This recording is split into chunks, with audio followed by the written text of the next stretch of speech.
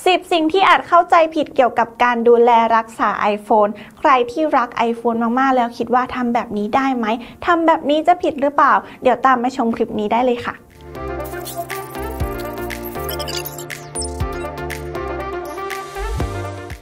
ลิปนี้นุนี้จะมีคำแนะนำเกี่ยวกับการดูแลรักษา iPhone ของเรา โดยเฉพาะในช่วงหน้าร้อนมาบอกนะคะ ซึ่งบางคนนะคะอาจจะเข้าใจผิดหลาย ๆ อย่างเกี่ยวกับการดูแลรักษา iPhone ก่อนไปชมเนื้อหาของคลิปนุกนิกฝากกดไลค์กดแชร์กดติดตามช่อง iMoD Official ไว้ก่อนนะคะ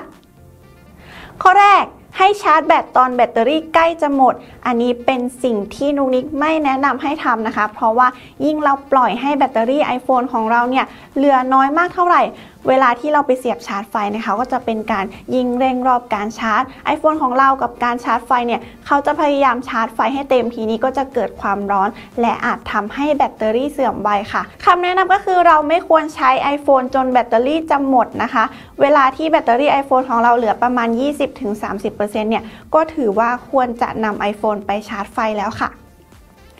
2. การชาร์จแบตข้ามคืนทำให้อายุแบตเตอรี่สั้นลงหรือเปล่าคำตอบของข้อนี้ก็คือไม่เลยค่ะ เพราะว่าใน iPhone นะคะเขาจะมีเทคโนโลยีในการชาร์จ เพื่อถนอมแบตเตอรี่นะคะ ซึ่งสิ่งนี้เราสามารถเข้าไปเปิดการตั้งค่าได้ ในเวลาที่เราเสียบชาร์จไฟหรือว่าชาร์จ iPhone ค้างคืนไว้นะคะ เวลาที่แบตเตอรี่ถึง 80%เนี่ย iPhone ของเราจะค่อยๆชะลอการชาร์จ แล้วก็จะค่อยๆชะลอการรับประจุค่ะ พอใกล้จะเช้านะคะ iPhone ของเราก็จะเร่งการชาร์จให้เราเป็น 100%เพราะฉะนั้นนะคะการชาร์จแบตข้ามคืนไม่ได้ทำให้แบตเตอรี่เสื่อมไวแต่อย่างใดค่ะ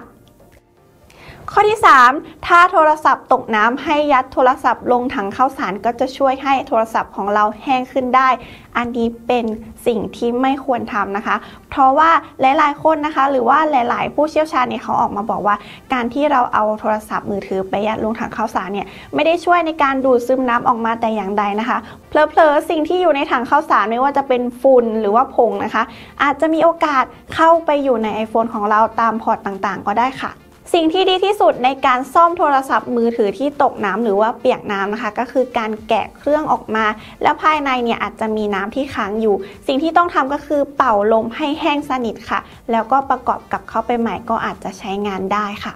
ส่วนคำแนะนำของ Apple เวลาที่เรานำ iPhone ไปโดนน้ำตกน้ำหรือว่าจุ่มน้ำมานะคะ ก็คือให้หยุดใช้ iPhone ก่อน แล้วก็หยุดชาร์จก่อน และสิ่งที่เราต้องทำก็คือให้เราตั้งเครื่องไว้แบบนี้นะคะ ให้เคาะกับมือนะคะ ให้ช่องไลนิ่งเนี่ยอยู่ด้านล่างเพื่อให้น้ำเนี่ยมันมีรูระบายออกมาที่ด้านล่างนะคะ แล้วพอเราเคาะเสร็จแล้วคิดว่าน้ำไม่มีแล้วนะคะ เราก็เอา iPhone ไปวางไว้ในที่ที่มีอากาศถ่ายเทค่ะ หรือว่าจะใช้การเป่าลมเข้าไปที่พอร์ตไลนิ่งนะคะ เพื่อทำให้ชิ้นส่วนภายในเนี่ยแห้งแล้วก็น้ำระเหยออกมาค่ะ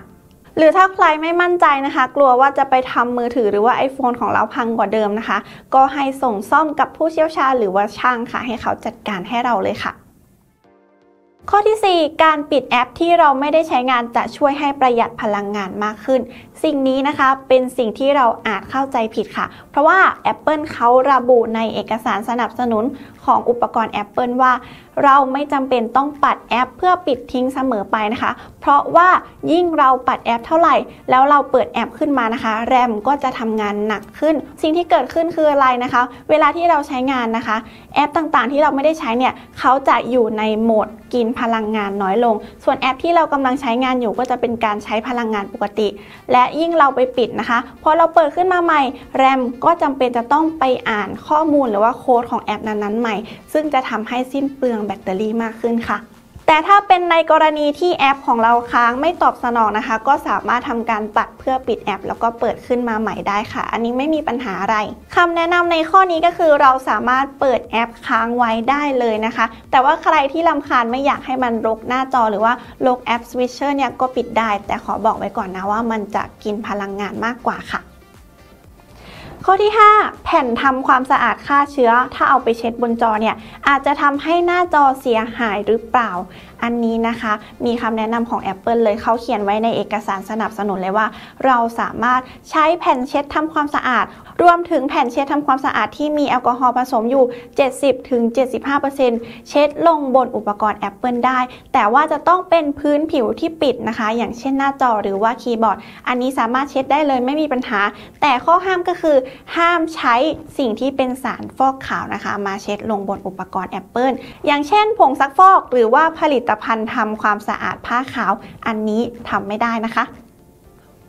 ข้อที่ 6 การชาร์จมือถือหรือว่า iPhone ด้วยอุปกรณ์ที่จ่ายไฟแรง จะทำให้เราสามารถชาร์จ iPhone ได้เร็วขึ้น อันนี้เป็นเรื่องจริงนะคะ เพราะว่า iPhone เนี่ยเขาก็มีการรองรับฟาสชาร์จอยู่แล้วนะคะ สามารถชาร์จ 0 ถึง 50%ภายในระยะเวลา 30 นาที แต่สิ่งที่ต้องมีก็คือ เราจะต้องใช้แหล่งจ่ายไฟหรือว่าอะแดปเตอร์ที่มีขนาด 20 วัตต์ขึ้นไป ถึงจะสามารถชาร์จเร็วได้ค่ะ เสริมให้อีกอย่างหนึ่งนะคะ สายชาร์จที่เราใช้ชาร์จเนี่ยจะต้องเป็นสายชาร์จ USB-C to Lightning นะคะ แล้วก็เวลาที่เราเสียบชาร์จนะคะ ด้วยสายแท้หรือว่าสายที่ได้รับมาตรฐานเนี่ยประจุไฟนะคะ ก็จะค่อนข้างเสถียรแล้วก็มีความปลอดภัยด้วยค่ะ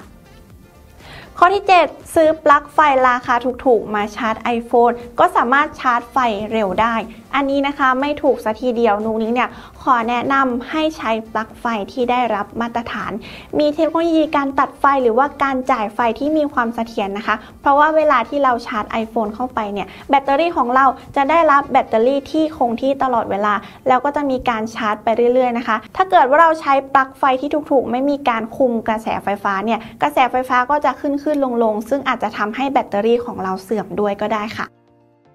ข้อที่ 8 ค่ะ การใช้ Fast Charge หรือว่าการชาร์จเร็ว ยิ่งชาร์จเร็วเท่าไหร่จะทำให้แบตเตอรี่เสื่อมไวเท่านั้น อันนี้จริงไหมนุกนิกขอตอบว่าเป็นไปได้ค่ะ เพราะว่าการชาร์จด้วย Fast Charge นะคะ จะเป็นการจ่ายไฟเข้าสู่แบตเตอรี่ที่ใช้พลังงานค่อนข้างสูง และเมื่อเกิดการชาร์จไฟที่ค่อนข้างสูงนะคะ วัตต์สูงๆเนี่ยแบตเตอรี่ของเราจะเกิดความร้อน แล้วก็จะส่งผลให้อายุแบตเตอรี่สั้นลงนะคะ อันนี้ก็เป็นไปได้เหมือนกันค่ะ ข้อนี้นะคะขอเสริมให้นิดนึงเผื่อมีคนถามว่าถ้าเกิดว่าอุปกรณ์ของเราไม่รองรับ Fast Charge แต่ว่าเราใช้อะแดปเตอร์ที่เป็น Fast Charge มาชาร์จอุปกรณ์ของเรา จะสามารถชาร์จได้ไหมคำตอบก็คือชาร์จได้ แต่อาจจะไม่รองรับคุณสมบัติการชาร์จไวค่ะ สมมุติว่านุนิกมีมือถือเครื่องหนึ่งนะคะ รองรับการชาร์จแค่ 15 วัตต์เท่านั้น แต่ว่านุนิกใช้อะแดปเตอร์ 60 วัตต์มาชาร์จนะคะ การชาร์จไฟนะคะ ก็จะรองรับสูงสุดแค่ 15 วัตต์เท่านั้น ตามคุณสมบัติของอุปกรณ์ที่นุนิกชาร์จค่ะ ขอเสริมให้อีกนิดนึงนะคะสำหรับการใช้งาน Fast Charge เราจะชาร์จ Fast Charge ให้ปลอดภัยอย่างไรนะคะ ก็ขอแนะนำให้ใช้อุปกรณ์เสริมไม่ว่าจะเป็นอะแดปเตอร์ แล้วก็สายชาร์จที่ได้รับมาตรฐาน แล้วก็รองรับอุปกรณ์ของเรา อย่างเช่น iPhone iPad นะคะ ก็น่าจะต้องเป็นสายชาร์จและอะแดปเตอร์ที่มีมาตรฐาน MFI หรือว่า Made for iPhone ค่ะ ข้อที่ 9 ซื้อมือถือหรือว่า iPhone มาใหม่ เราจะต้องชาร์จไฟข้ามคืนทิ้งไว้ 8 ชั่วโมงจริงไหม อันนี้ก็อาจจะเป็นความเชื่อที่เข้าใจผิดนะคะ สมาร์ทโฟนสมัยนี้นะคะ เขามีแบตเตอรี่ที่ได้รับการพัฒนาแล้วนะคะ เพราะฉะนั้นเราไม่จำเป็นต้องอัดประจุเข้าไปในแบตเตอรี่จนมากเกินไป เราแค่ชาร์จไฟให้ถึง 100%เท่านั้นค่ะ ก็ถือว่าโอเคแล้วสามารถใช้งานได้ปกติ ไม่ต้องกลัวแบตเตอรี่ไม่เต็มประสิทธิภาพ ไม่ต้องกลัวว่าแบตเตอรี่ของเราจะไม่ถึง100%หรือเปล่า อันนี้สามารถชาร์จ 100%แล้วใช้งานได้เลยค่ะ ขอแถมให้นิดนึงนะคะ เกี่ยวกับการที่เราเก็บสมาร์ทโฟนเครื่องเก่าเอาไว้แล้วไม่ได้ใช้นะคะนุนิกขอแนะนำให้ชาร์จแบตเตอรี่ไว้เกิน 50%แล้วค่อยเก็บมือถือเครื่องเก่าเอาไว้นะคะ จะได้มีแบตเตอรี่หล่อเลี้ยงไว้ แล้วก็แบตเตอรี่ของเราจะได้ไม่มีการคลายประจุออกมา ให้เขาเก็บประจุไฟฟ้าเอาไว้ข้างในก่อนค่ะ ข้อที่ 10 โหมดประหยัดพลังงานใน iPhone สามารถช่วยรักษาสุขภาพแบตเตอรี่ได้จริงไหม อันนี้ตอบเลยว่าไม่ซะทีเดียวนะคะ เพราะว่าโหมดประหยัดพลังงานเนี่ยเป็นแค่การยืดอายุการใช้งานแบตเตอรี่ระหว่างวันของเรา เพื่อให้เราสามารถใช้งานแบตเตอรี่ได้ยาวนานขึ้นนะคะ ไม่ได้ไปช่วยทำให้อายุแบตเตอรี่ของเราใช้ได้นานขึ้นค่ะ เพราะฉะนั้นสิ่งที่มีผลกับอายุแบตเตอรี่มากๆ ก็คือเรื่องความร้อนค่ะ พยายามอย่าให้แบตเตอรี่ของเรามีความร้อนเกิดขึ้นนะคะ ใช้สายชาร์จที่มีมาตรฐาน เพราะฉะนั้นคำแนะนำของนุนิกนะคะ ถ้าเราอยากยืดอายุแบตเตอรี่ของเรา 1. ก็คือใช้สายชาร์จที่ได้รับมาตรฐานรวมถึงอะแดปเตอร์ด้วยนะ ข้อที่ 2 ไม่แนะนำให้ชาร์จแบตเตอรี่ไปด้วยเล่นไปด้วยค่ะ เพราะว่าจะทำให้เกิดความร้อนสูงมากและข้อที่ 3 นะคะ เราไม่ควรชาร์จแบตเตอรี่ไว้ในสถานที่ที่ร้อนๆ ไม่ว่าจะเป็นห้องหรือว่ารถยนต์ที่ร้อนๆนะคะ เพราะว่าความร้อนเนี่ย มันจะส่งผลต่ออายุแบตเตอรี่โดยตรงค่ะ และนี่ก็เป็นสิ่งที่หลายคนอาจจะเข้าใจผิดเกี่ยวกับการดูแลรักษา iPhone ของเรานะคะนุนิกก็ได้รวบรวมมาให้แล้ว แล้วก็ตอบคำถามให้แล้ว ใครที่อยากดูแลรักษา iPhone ของเราให้อยู่กับเราเป็นนานๆนะคะ ก็สามารถนำสิ่งเหล่านี้ไปประกอบกับการใช้งานในชีวิตประจำวันได้ค่ะ ถ้าชอบคลิปนี้นะคะ ฝากกดไลค์กดแชร์กดติดตามช่อง iMode Official ด้วยค่ะนุกนี้ขอลาไปก่อนนะคะ สวัสดีค่ะ